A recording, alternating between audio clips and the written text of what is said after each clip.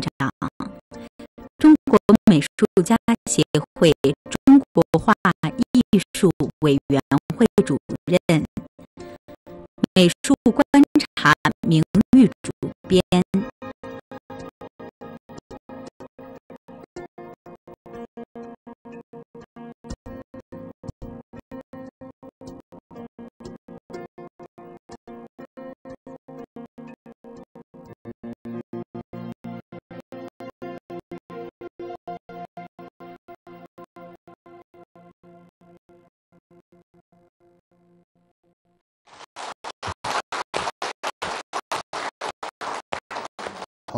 朋友们，这个上午好。前天呢，呃，我们班啊，呃，全体同学，呃，咱们上北京这个凤凰岭，呃，去做了一个写生，呃，上了一堂写。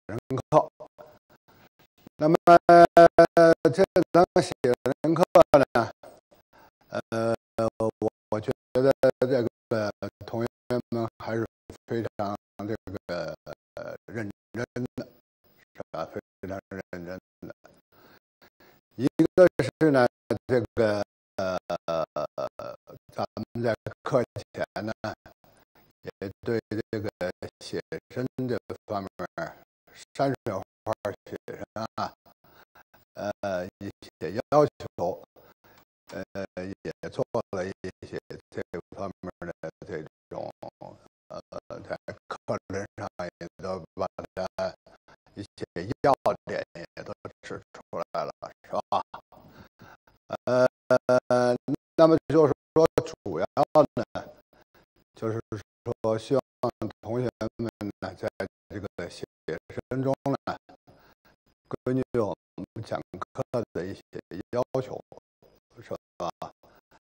来那个努力的呢，呃，通过这个写生，把我们对写生的这个认识，呃，怎么掌握写生的一些技巧，呃，来自于这个他说和我我们中国山水画笔墨的一些这种联系，是吧？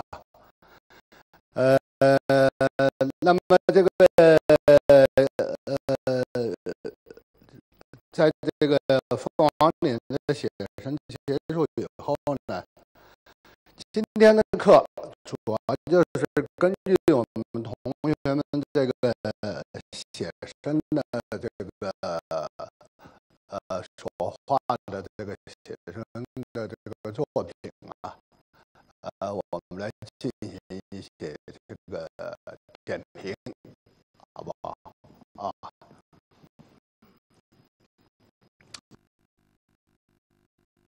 现在呢，就是说，嗯，这张呃写生是吧？呃，大家可以看它的这个呃主要的一个这个优优点在什么地方呢？它的。它的优点呢，就是说它抓住了我们去的凤凰岭，就我们在这个课前讲，是吧？它的那个山石的这个自然结构啊，一些大的呃形体和大的这个结构。呃，你像在这个呃，在他的这张这个写生中，是吧？因为我们呃讲到了，是吧？到一个地方写生，是吧？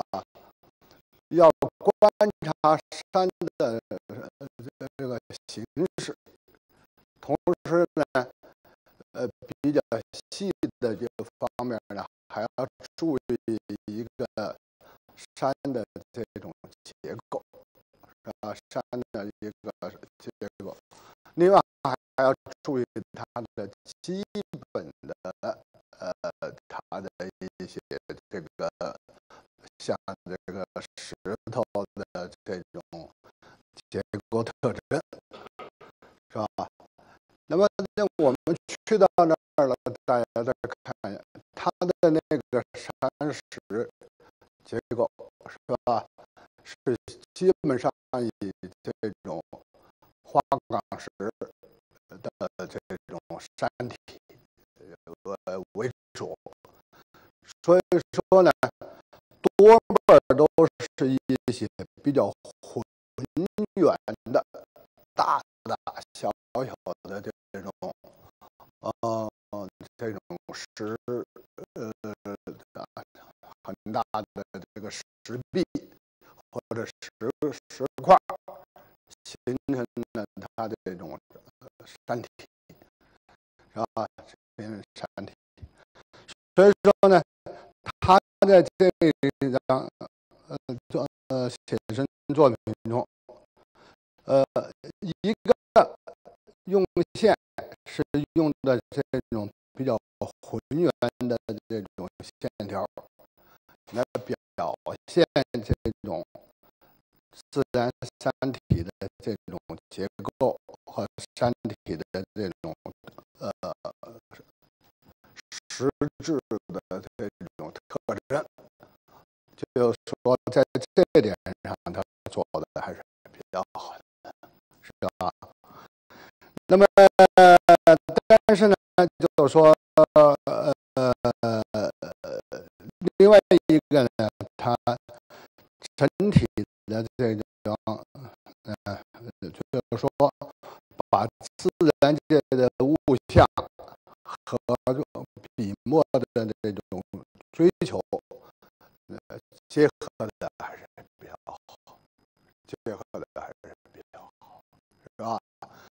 基本上，他呃把它转换成冲锋用线，呃有点线的这种变化，这这呢上面都是，啊？都是有的。这张这张写生还是不错，是吧？但是呢，它这些山体的结构，呃，是吧？呃，还有缺缺少一些比较细微的变化，细微的变化，略显得稍微那个，呃，稍微这个简单了一些，简单了一些。所以说，我们也说。一个是首先要抓住这个大的结构，然后呢，逐渐又往这个小的结构过渡。呃，山的是先要抓住它的大的形态，用最简单的这些线条。一些主线条，把它的大的凹凸、大的这种凹凸骨瘪，是吧？大的转折，因为山体上它有这些这些因素在里头，我们要用比较简单的，是吧？线条，然后再。逐步深入，啊，逐步深入，从这这个比较大的方面往小的方面画，啊，那么他这张作品的这些我想这个写生是吧？呃，有些细腻的地方还要。进一步的来这个提升，是吧？进一步实现。你像这个外轮廓，是吧？它外轮廓，外轮廓它有一个大的这个山的趋势，它是一条大的弧线，还是相对比较平的一条直线，是吧？还是比较尖锐的这个呃这种形态，是吧？那么我们要掌握一个大的形态，上边还有参差不齐，还有一些变化，是吧？这个你这里边这些小变化缺乏了一些，是吧？还不够细腻，是吧？呃，那么就是说形态上小变化少了一些，呃，用线用墨小变化也少了一些，是吧？有大变化，有大的大的形态还是抓住的。这个我们去的那个地方的那个呃地貌特征，它也是抓的。另外一个呢，它的这种笔墨语言和我他所表现的写生的这这个地方的特点结合的也是比较好，比较比较好，是吧？那我们这章就点评到这儿了啊。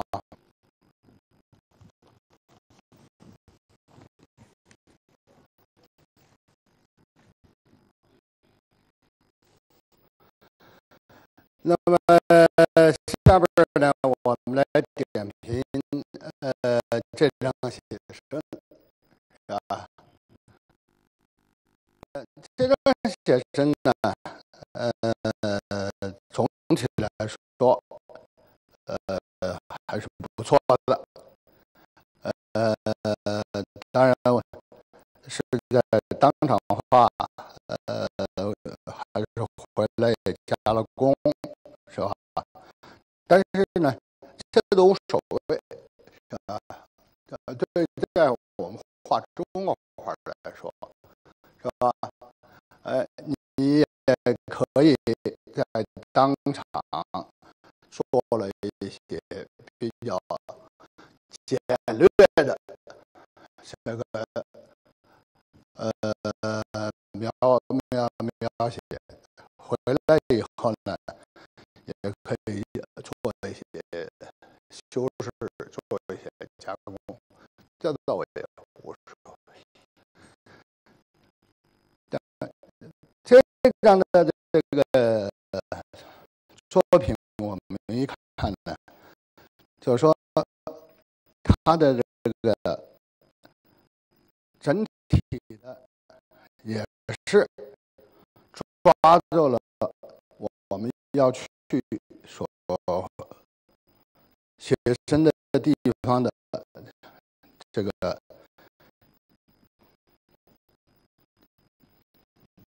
地貌特征、山的这种基本结构，山石的这种基本结构，是吧？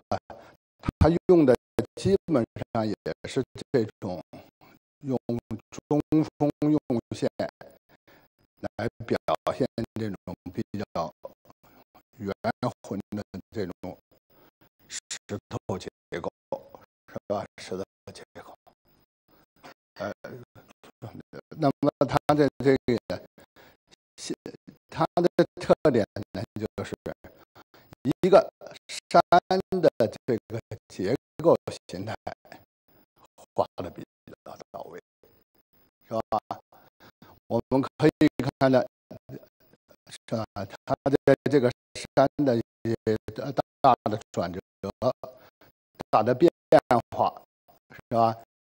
这个山，这个地方是这这个山的这个所谓的山脊，是吧？然后山的往逐渐的往两边的这种延伸，然后这地方又出来一个峰，是吧？等等，就包括前面的石头的结构，呃，这些方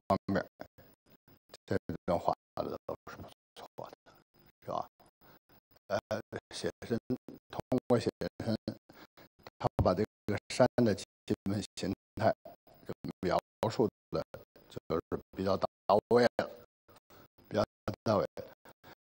另外一个呢，这个呃同学的这张图，笔墨也比较这个娴熟，也是比较娴熟。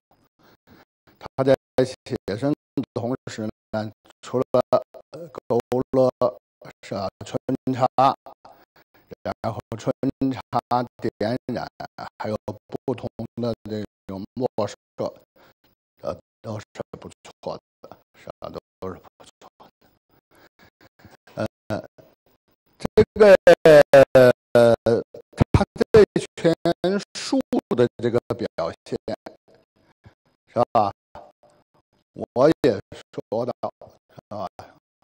在在前一段我们示范的过程中，自然界的呃这些景观呢，它是非常丰富的。我们在那儿也看，那要要有时候那树就太多了，是吧？呃。那，它它就是成林片，成林成片。所以说，在表现这些树的时候，抓住一两棵具有代表性的树，是吧？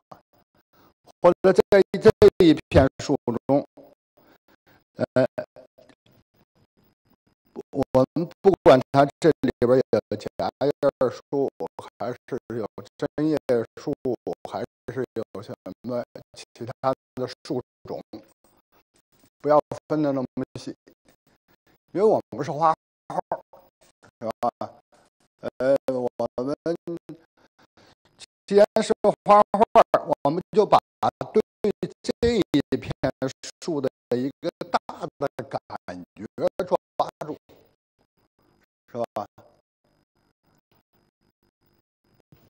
是书是密，是吧？是单单颗的，还是成片的，是吧？抓住这种大的感觉，是吧？不要做过分的这种呃一颗一颗的单摆幅的这么去画。是吧？那样就太琐碎。所以说呢，有几棵在枝杈它的那个穿插这个树的这个枝干上表现到位，就要用中国的这种比较概括的、带有符号性的。一种笔法是吧？点法，来把它沉沉点点染，啊，就能把那个树的这个真的表下来。另外一个像这些写生呢，花树，它有高低参差。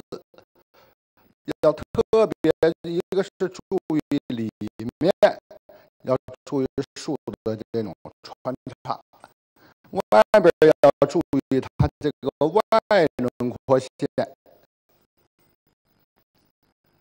这些外轮廓线的这种关系啊，它这里头呢，也应该相应有些趋势。他这张写生，当然说可能在写生过程，它这个地方是是前进，那么后面呢是退一步的远远远远景。那么远景我们主要要刻画这个山，我们中间呢就用这些虚实关系，它都处理的还是不错，是吧？把它用线到它跟前儿以后，出点虚下来。但现在呢，略有一个问题，略一个什么问题呢？就是说虚实关系是不错的，但是我们不要人为的就是控这么一条一基本一样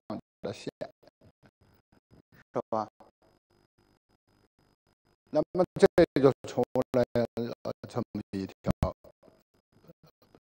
白色的这么一条线，啊？这种手法是好的，但是呢，就在控制这些方面呢，就我说，这种团块关系，你这是一团儿，这是一团儿，这一团儿，这里边呢要弱聚弱力，有的地方要离得远一点，有的地方要粘连粘连盐水，就就说像打太极拳似的，它有的一个粘合在一块儿，是吧？感觉是分开的，但是呢，它中间又有一些感觉有些关联，是吧？所以说就不要这么非常刻意的把它留的那么齐，有些地方感觉是连上的，有些地方那个是虚开一些远一点的，所以这这它的关系就是能再微妙一些，是吧？另外一个呢，就是说这些点法是吧？我们在点法的时候，他就用了不同的点子，这些点子呢，点稍微点的呢软了一点儿，软了一点。用点儿就我说的，一定要考虑你要用圆点还是横点、竖点，是吧？一张写生一和一张作品一样，不要在一张画儿点法太多，是吧？横七竖八，基本上要有一个规律性。你在有规律里中又略有变化，是吧？又略有变化。你说像这些树树帽、树的这些，正好印着白的，我也一直在强调过，越是这些地方越要讲究，也许冒出去的这几个，恰恰正好是一棵松树的松针，是吧？那几笔就非常漂亮。呃，或者是这个柳树的树梢，也也可以很漂亮，是吧？也很漂亮，是吧？它就是要起的一个，有的时候是要以点带面，啊，不要全画，是吧？但是呢，有几几点重点。这张写生还是不错，呃，整体结构抓住了石头的这种组和的那个特征和用笔也是结合的比较好。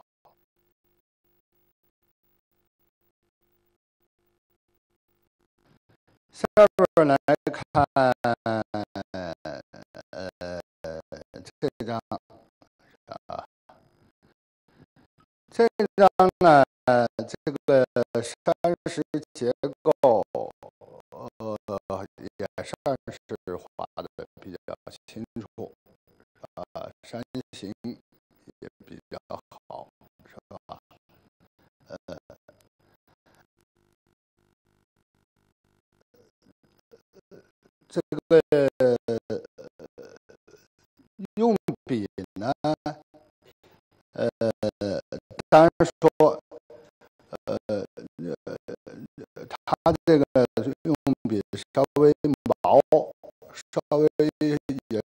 画的用笔也比较厚，是吧？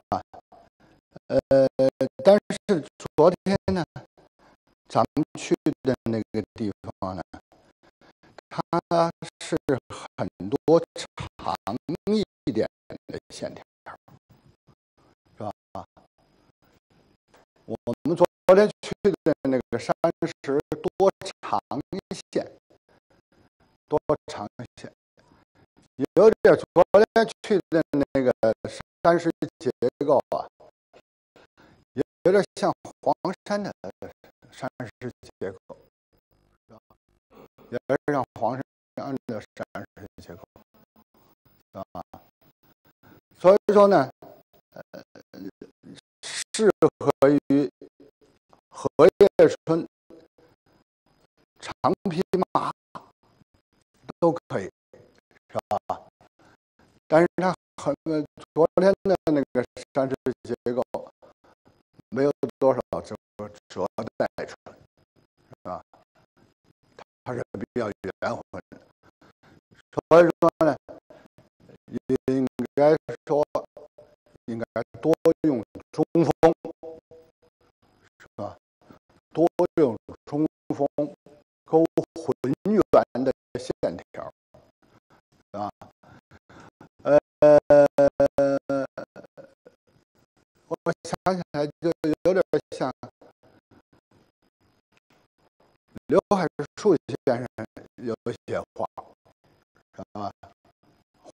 这个黄山，中锋直写，是吧？中锋直写，中锋，然后在中锋浑圆的线里头加些春插，啊，但这。写生呢，他也把这个山的形态基本画出来，是吧？但是呢，他这个用笔呢，稍微的呃小了一些，呃，擦的多了，是吧？擦的多了，是拿这个笔呢，一点点给擦出来。那个中锋用线的那种味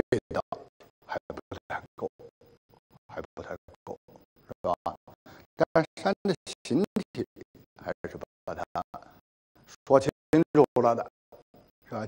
交代明白了的，是吧？下边这些地方，这些呃树啊。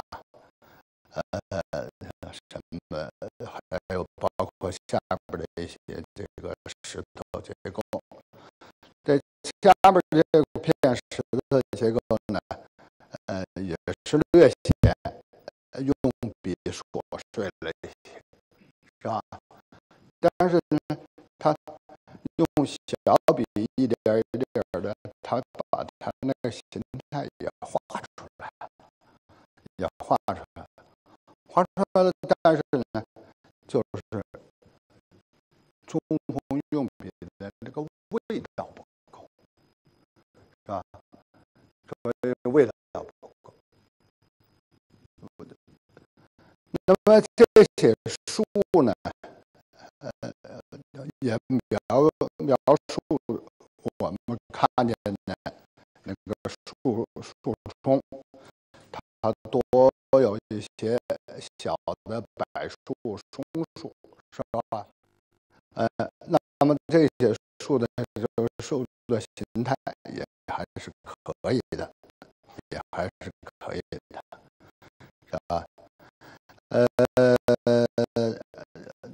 这个在这个用墨这方面呢，就在这里头这些点法呀，呃，就是层次啊，呃，略少了一点，略少了一点呢，有时候呢，一遍到到了黑的那方面，它就有些地方就显得有点黑，有点脏，啊，略有点脏。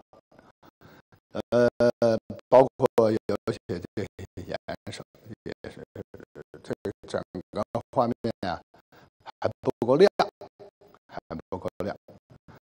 但是说这个呃画的呢，整个气息还是比较这个厚重，是吧？还是比较厚重。呃，这这这样的这个呃，另外还有一个这些在这个书的这一方面，就刚才说的，呃，我们叫近处的大的这些树要画的时候，就要略要有一个树的特征了。刚才我们讲的那上一张作品是比较远的这些树，是吧？它可以说是杂树，在山野画里边有时候统称杂茶树，是吧？茶树就是说，你基本上用一种点法就把它表现了。是吧？像有些树，我们用大横点儿；有些树，我们用这个比较圆点儿。那个用点法就能把这个远树表现，它这一代表现的还是不错的。这这些是吧？这一块儿画的不错。的但近处这几个数，在写生过程中呢，就略感觉到呢，树的特征不够强，啊，数的特征不够强，啊，有时候就得画一点典型性的树，是吧？呃，比如说我们画的是柏树，是吧？柏树，我们用什么样的点儿，是吧？用这个麻椒点儿，还是大混点儿？一般用麻椒点儿。还有它那个树干，啊，那个特征，这都是略化的稍微这个不太够，是吧？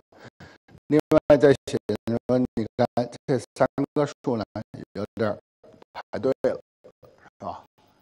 是吧？就是这个，就让它有两个数，第三个数的一个序列也许就要近一点，或者我们就有一个从这边出来，但它略有这个穿插，是吧？它就生动了，是吧？这个写生啊，是大的要忠实于对象，是吧？要表现对象，但是呢，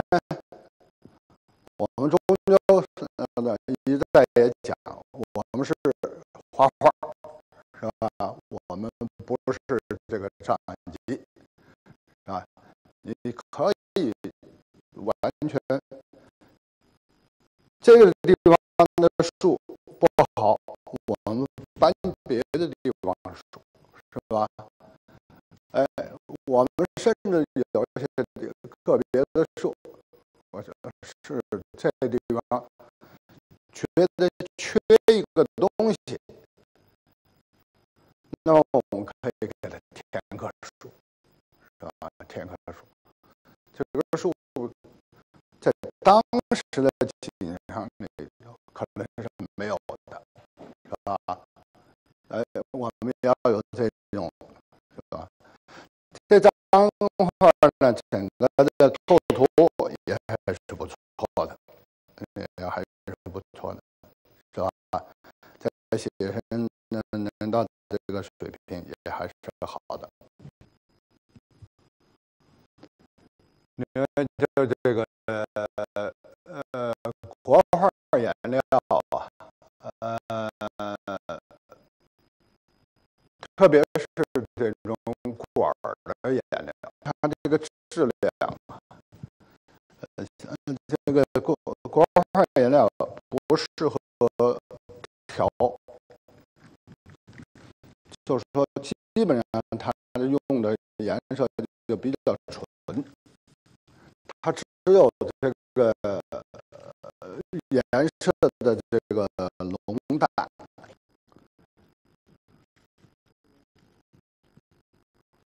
大家再来看看这张啊，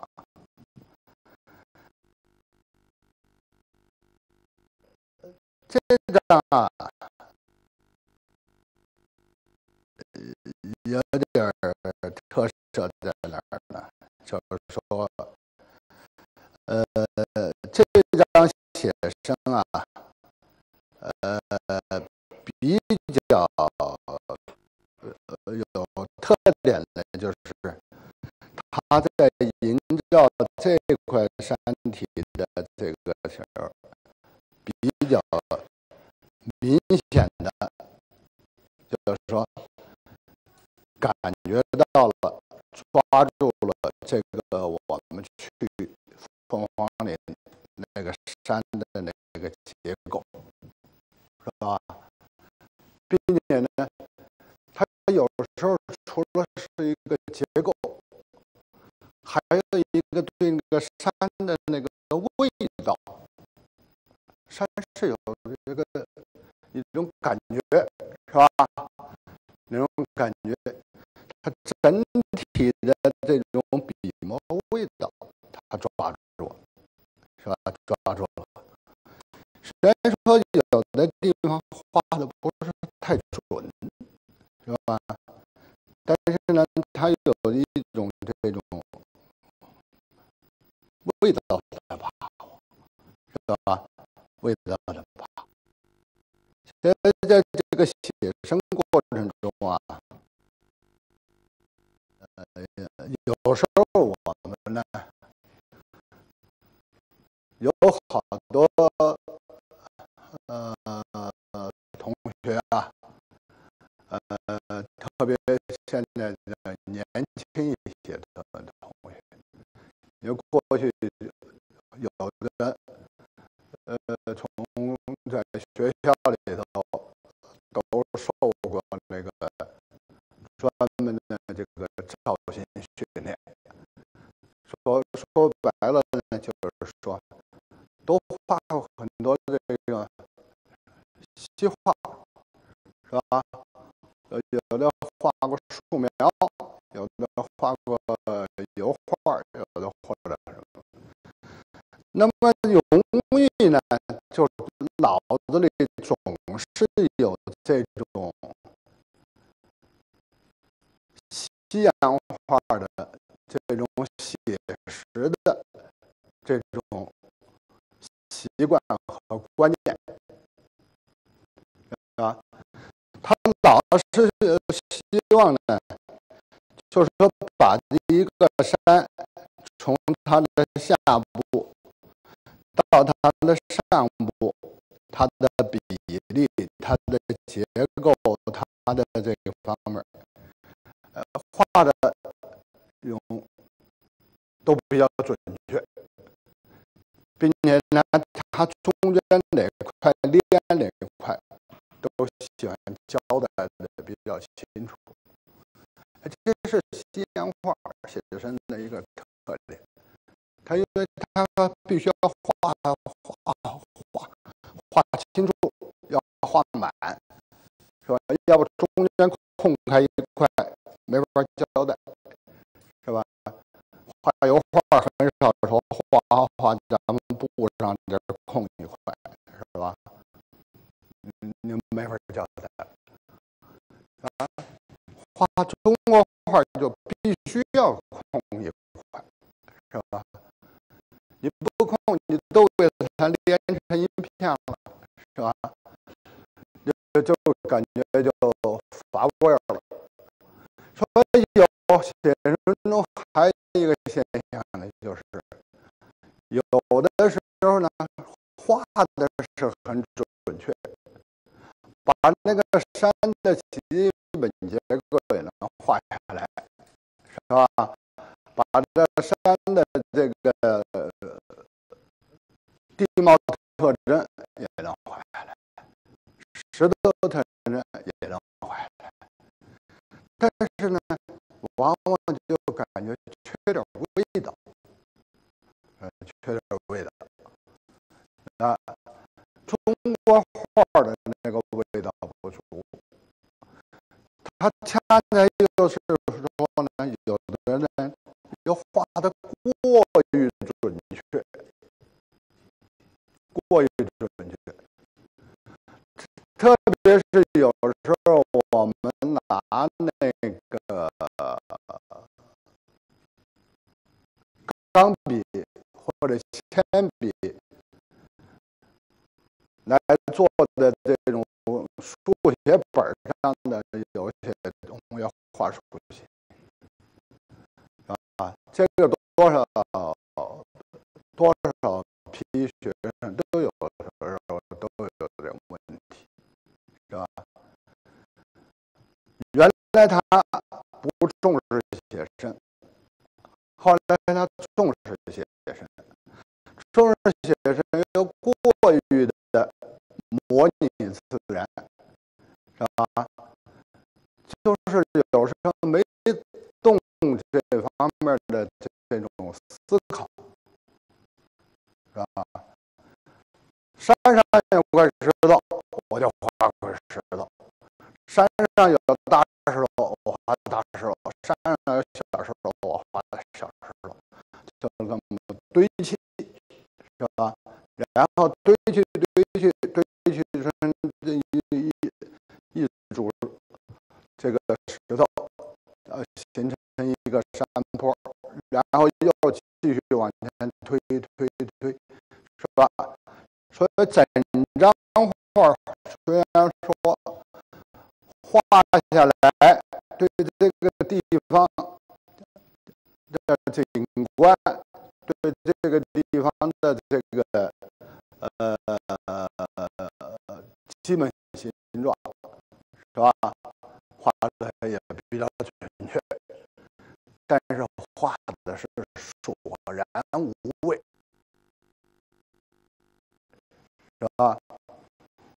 那种画呢，实际上有时候真正在我们做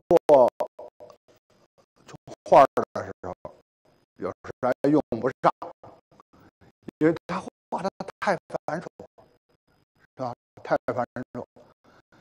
你当你在这个宣纸上作画，参考它呢？有时候呢，不知道从何下手，因为那会儿画的没有取舍，是吧？没有取舍，所以说我们写生也是一样，要最重要的要善于取舍，是吧？有的地方要画的一样，就是说，有些地方要把重点的一些地方，我感兴趣的地方，或者这这方画画面上它起作用的地方，我们要把它画够，或者甚至要把它这种感觉画出。有些地方就空而不画，一一条线就带过去了。你看，经常中国画有时候特别呃，是有些这个艺术画家，你包括陆延绍啊、黄宾虹啊这些，是吧？特别我们这些近近现代的，有时候一条线就是一个山坡，上面然后就一笔都不穿，一笔都不插了，是吧？那就表示这下边就是山坡。了，是吧？有一些地方呢，反复画。它主要是要求画面上的这关系、疏密关系、虚实关系啊，这是最重要的。因为你没有这些关系，这个画面就不生动啊，不生动，是吧？那么这张画我们看呢，其实他画的不是很准，是吧？画的很不，但是相对它不太准呢，它真是恰恰有点这个不准，它说又说，同时它又抓住了这个。这个我们去写生的那个山体的一个大的一个形态和大的一种结构，还有大的这种线条的味道，所以说呢，感觉到他这一块上画的是不错的，画的是不错的，那个有这个味道。是吧？呃，当然这几个人画的太大了，是吧？这几棵树画的也还是可以的，是吧？可以的，是吧？呃，这这有些地方呢勉强一点这这这又添了一些水口，是吧？呃，有有点略有点造作，是吧？是吧？这个这个地方是吧？但是这这这种线条和它的这个笔墨味道，还有山石的这个结构特征，这张画，我觉得它还是抓着的，是吧？啊，还有些还有一些意思，还有一些意思。另外一个呢，用笔也比较活。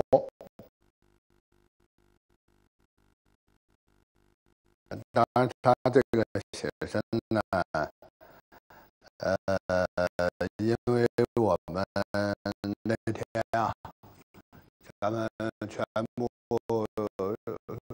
同学呢，把咱们都去了那个嘛地方做了个写生。说对那个地方都有一定的感觉，是吧？都有一定的了解。呃，当然他选择的这个景儿呢，呃，是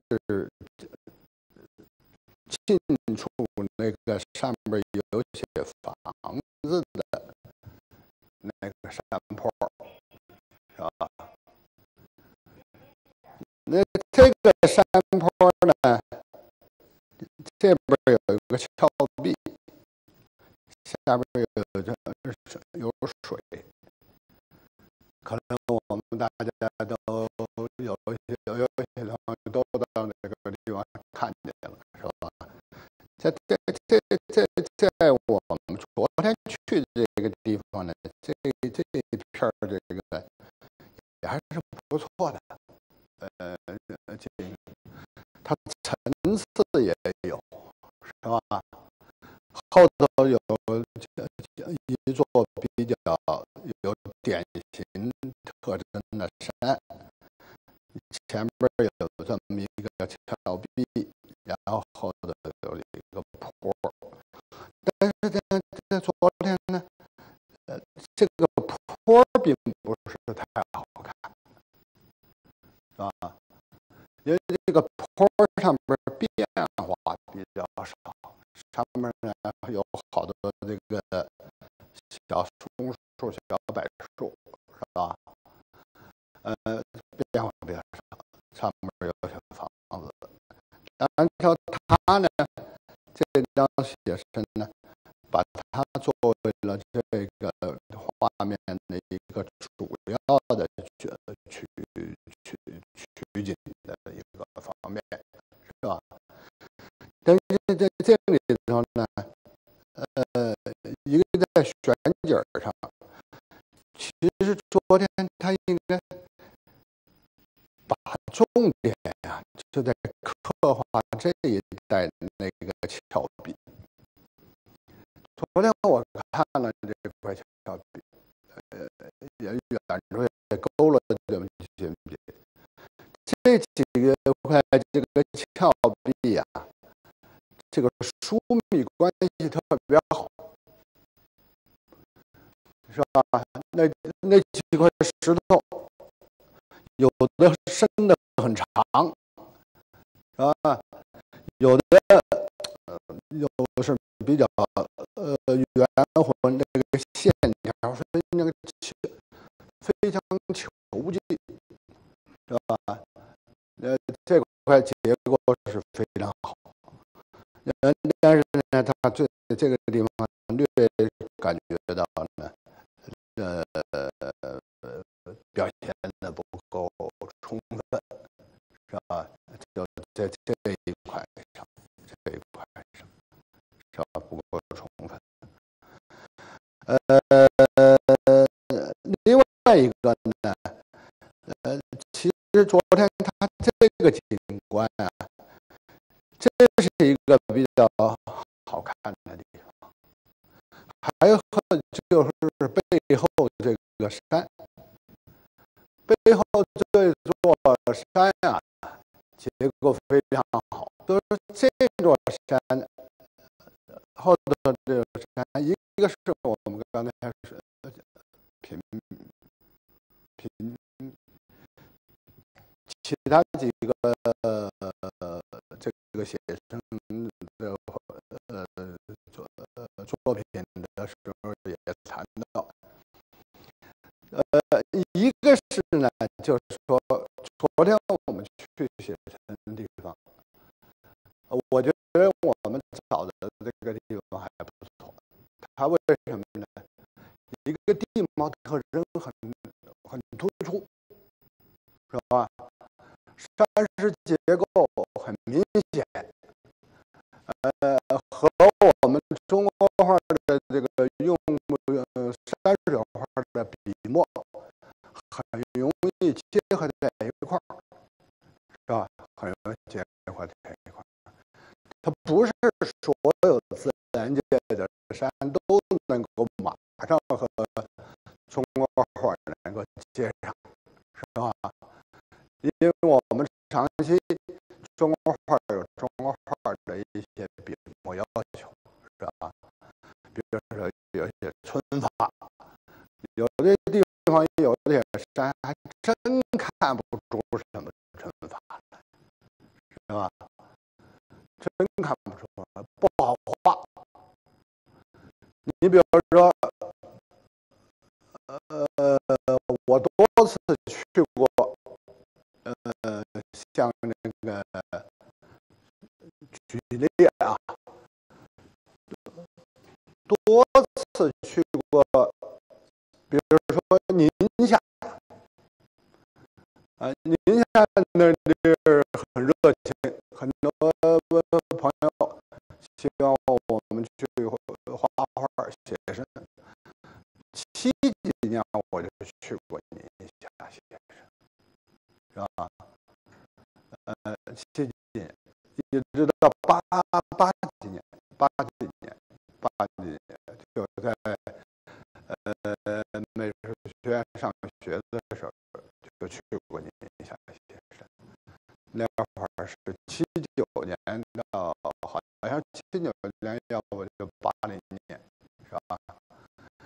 你比如宁夏，它主要的两个有典型的这个代表性的呃这个可以画画的地方，一个就是贺兰山，是吧？一个就是六盘山，六盘山是因为红军从那长征过后，所以说非常有名。但是这个六盘山呢，是典型的大坡，基本上上头看不见有石头的这种呃褶皱，这种石头的石纹，没有石头，是吧？就是大缓坡，大缓坡，那线条就非常长，是吧？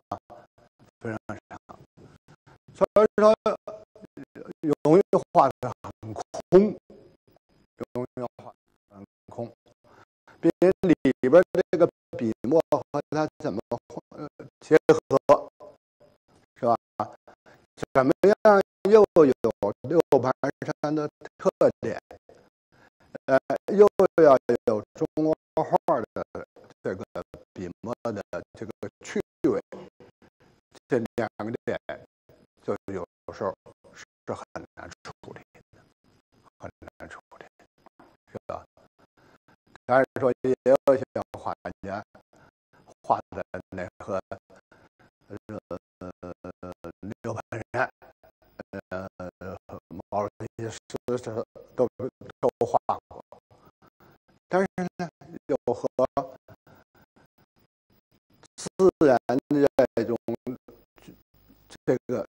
真正的六盘山又相去甚远了，相去甚远，甚至有的就不搭钩了，是吧？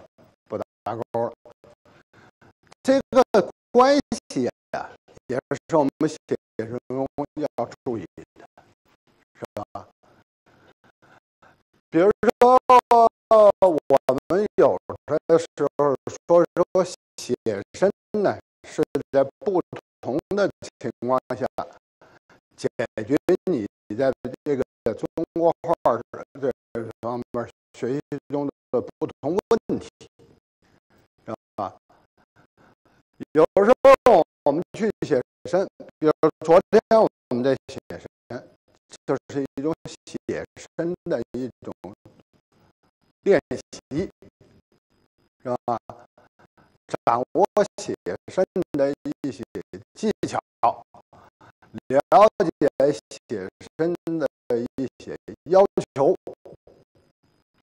他这个是昨天、前天我们去写生的主要目的，是吧？那么有的时候写生呢是收集素材，是吧？收集素材，比如说，我说举个例子，因为当初是大会堂好像有个任务，大会堂宁夏厅想请美院找点这种画画的去画，画完了要给回来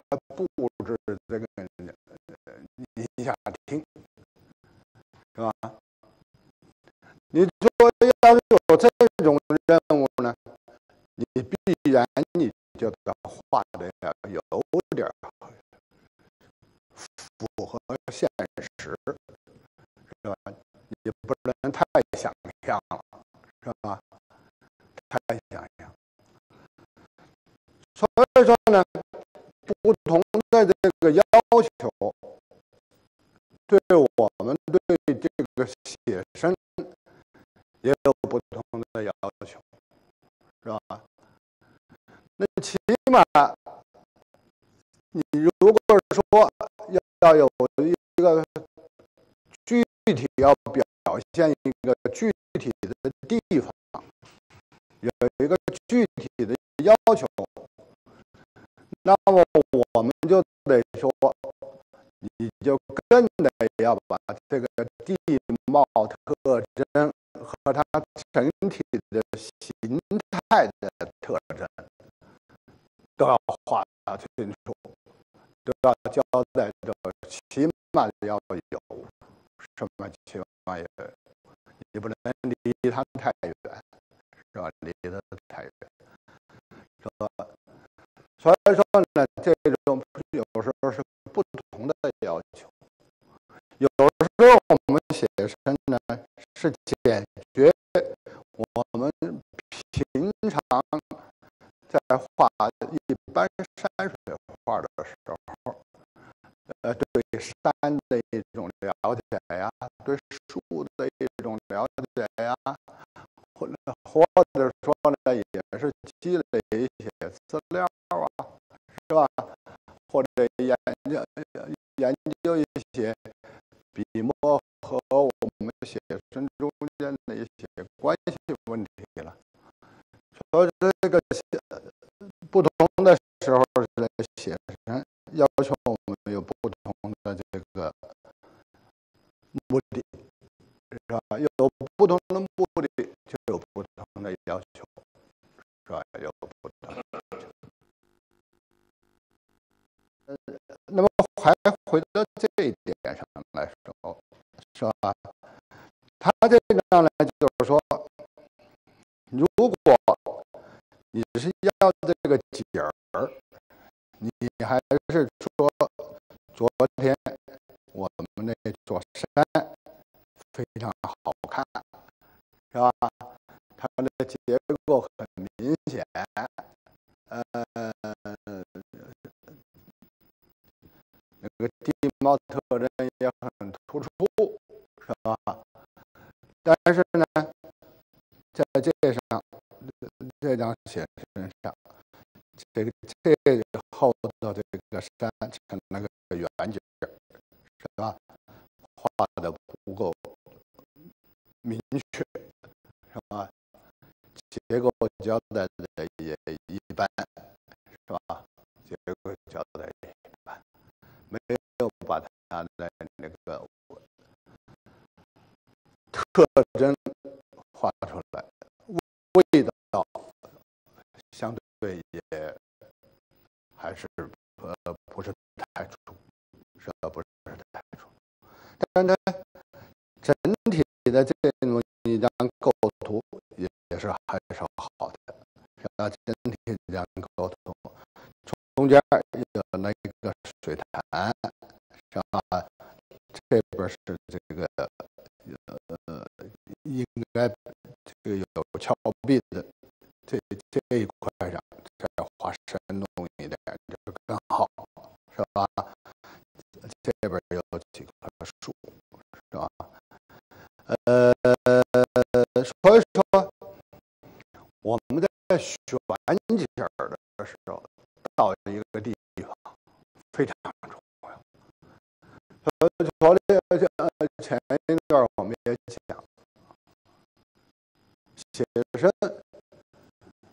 要是吧，在一个地方要多转，多看一看，对它一个周边形势有一个更多的了解，其实有时候就差几步，那边看就比你站的这个地方看要生动，要好看的多。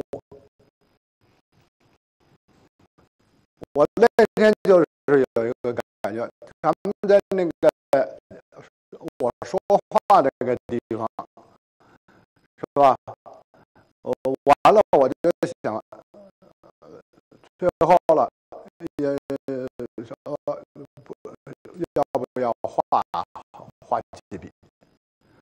当时也感觉看，对，就也感觉到当时那个地貌上呢有特征，但是它也有一些不足的地方，因为后后头的远山和近处那个这个这个远山和这个坡中间衔接的这一带呀，呃，语言很单调，语言很单调，它就是一片片的那个小树丛子垂直下来的，是吧？呃，一时还没想到他怎么把这两个东西衔接起来，是吧？说昨天我在这个地方有个犹豫，那么后来，因为在那个我站那个地方看不见这点儿这个呃呃这个岩石，有前边那个有个东西挡着了，有有有有点树。后来走到这边来，就能看见这个沟了，就看见地下还有水，水中还有修的一个小道，有几块石头。这边呢有一块峭壁，其实都很入画，是吧？都很入画。所以说呢，就是说写生的时候，是吧？不要急于就画。我们一直强调，就是说把那个地方也它也不是很大嘛，前前后后左左右右，包括你喜欢这座山，你也是朝左走走，朝右走走，是吧？也许多走几步，角角度就变了。另外呢，就是说，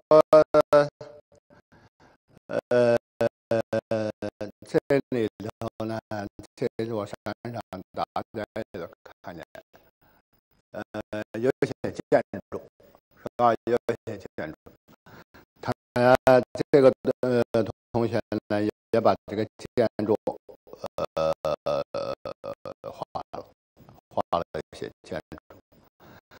这个建筑呢，如果说在这个角度真实的看，是透视很重的，就像大家现在这一线是斜的，这一线是斜的，是吧？有透视。呃，但是在中国画中啊，尽量减少透视，尽量减少透视。呃，因为你一个地方有透视，其他地方就都要有透视，要不那个地方地方感觉在里头它是翘起来的，是吧？或者是不舒服的，是吧？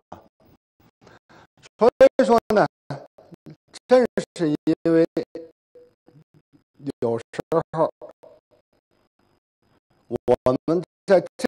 个角度做下来了以后，那么后头这个山就很大了。远处这个山就小了，因为这是属于在透视中。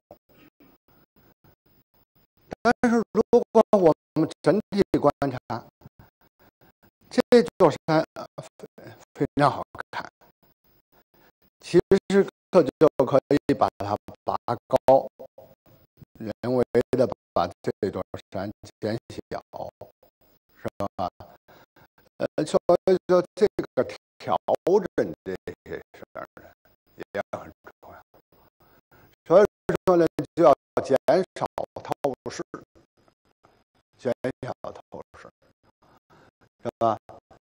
呃，除非特殊的情况下，呃，有一些同学，比如说我们上一个古城落。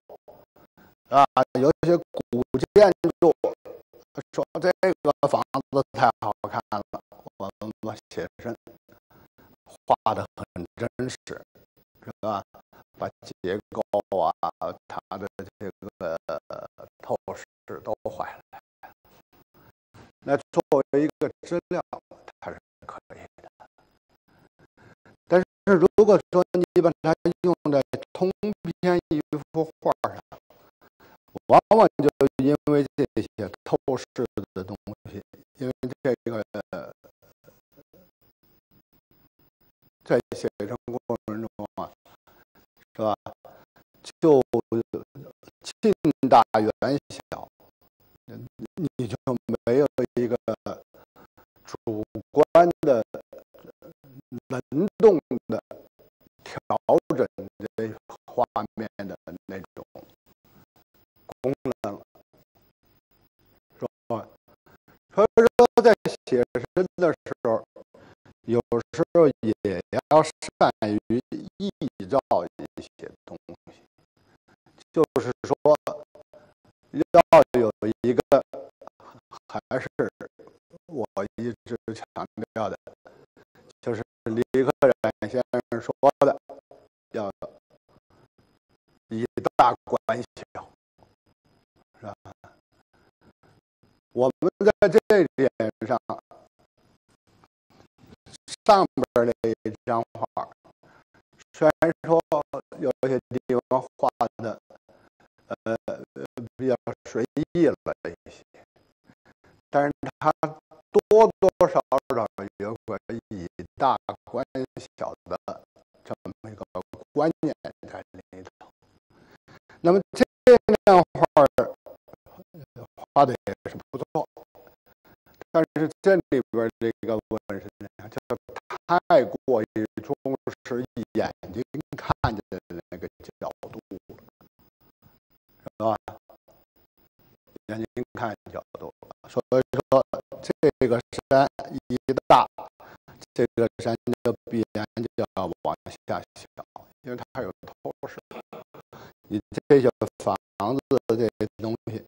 呃，这个透视仪交代出来，它必然的，是吧？那那么主观能动的东西就被压压抑了一些，是吧？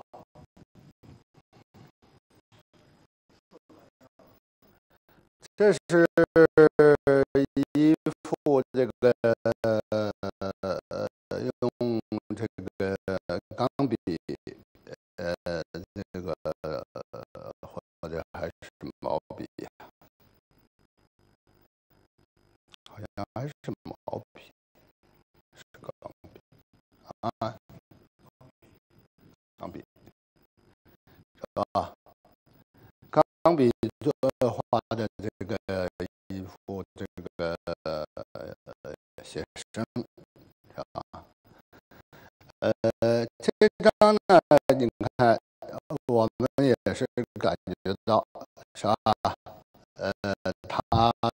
抓这个山的基本结构，呃，基本的这个形态、轮廓、结构，是吧？都还是画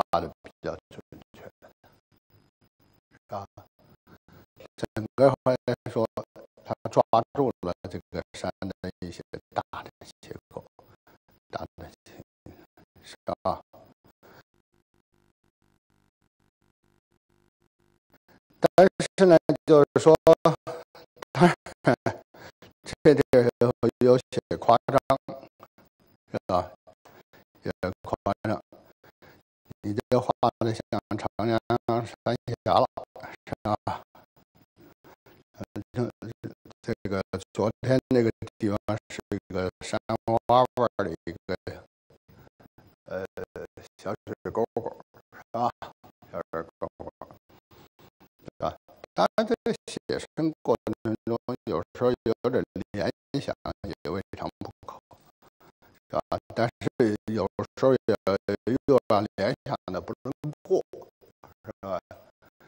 因为它有时候周边的这些山的形形体，它和这个你把它夸张了以后，画的像这个大江一样，它有些山就不吻合了，是吧？不吻合了，是吧？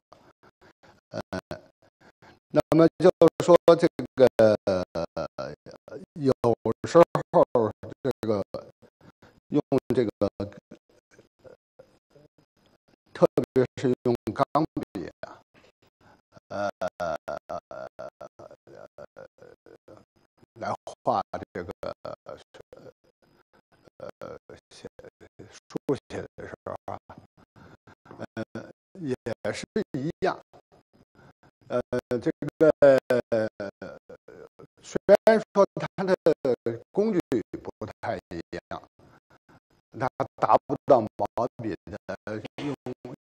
线条啊，呃，点呐，是吧？线条的这个味道，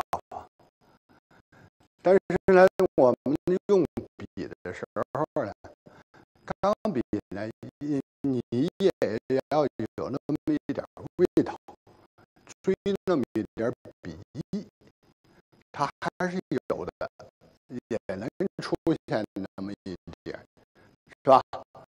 当然说它因为是硬的嘛，它不可能够像毛笔似的变化那么多。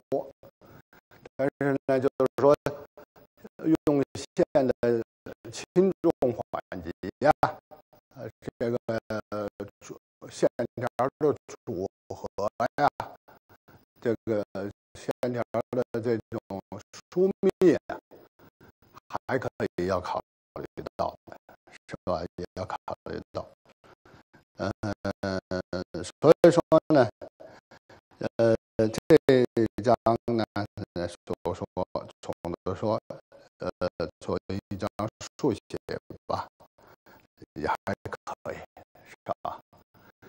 呃，但是说就是说速写速写呀，呃，有时候要是做比较这个细致一些的这个描写之外，呃，有时候啊，就是我说的，呃，它属于速写。书写呢，有时候更重要的是抓一些这个山的一个大的形式，大的形式。但是人呢又容易一把你给放到一个特定环境中，一有时间。你就容易往细了画，是吧？不想画细也画细了，因为你有时间嘛，是吧？越画越细，越画越细。有些人，容易把那个画的特别细，画的特别细的，真正到用的这个宣纸，把它转换成这个笔墨，倒反而不好转换。说有些时候啊，其实画画画到一定程度，需要有的时候掌握一些地方的山的大的形式，就让你看五眼，看多了的话，你看把眼睛给你蒙起来，是吧？然后你就得抓住那个最说明问题的那几条线啊，就得抓住那个最说明问题的几条线啊，这点也是个功夫，是吧？因为往往最说明问题的那条线，就在你画画的时候，在山水画中那几条线也挺，最带有大的形式的、大大的那个起伏的、大的关系的这么几条线，是吧？呃，那么就是说呢，有时候，呃，其实我好后来在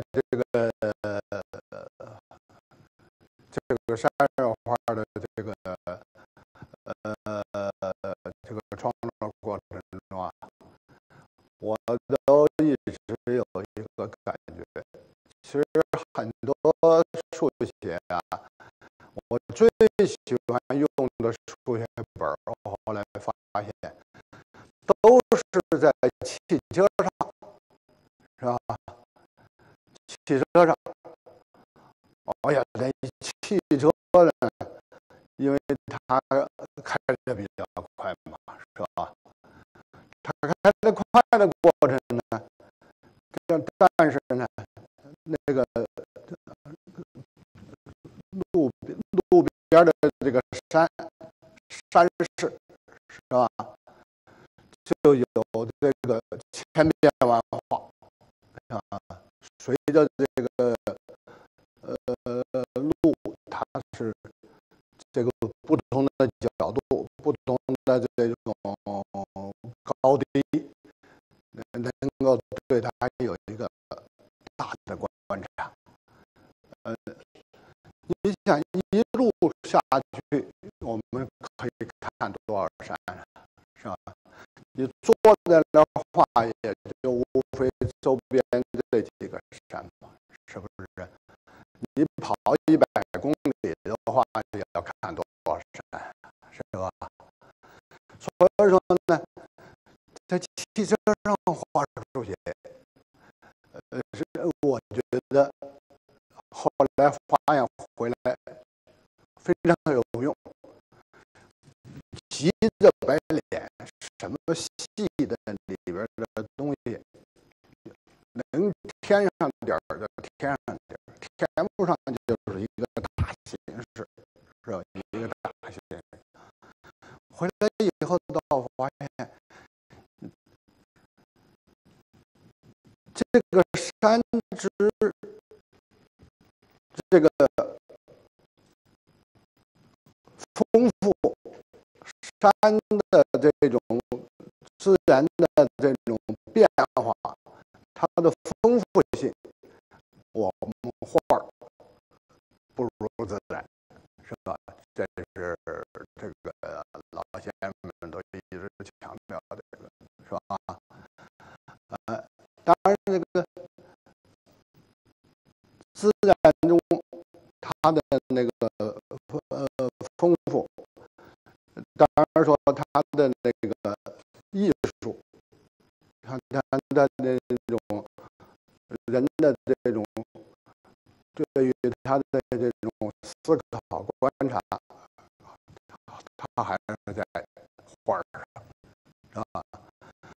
所以说呢，从这个角度上来说呢，有时候在这个写身上，画数学上，还是要有一定的要点，是吧？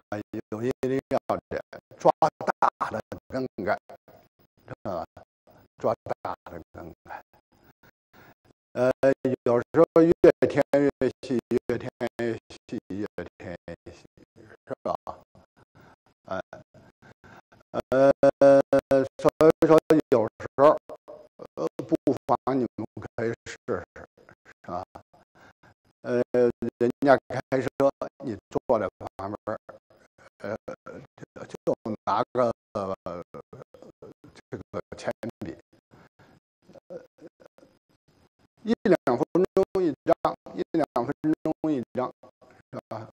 回去也有用，粗细结合，有这个大的形式的，也有对一些具体的描写的都可以，是吧？我就是有一点，容易坐着坐一会儿就头晕了，是吧？呃，画连画再看，连画再看，最后就晕晕了。